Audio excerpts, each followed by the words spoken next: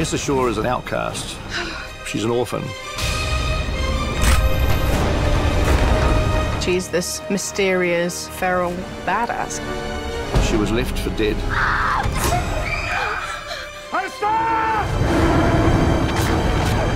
She'd like to live in a world with this one less person in it. He murdered my mother. And all she wants is revenge.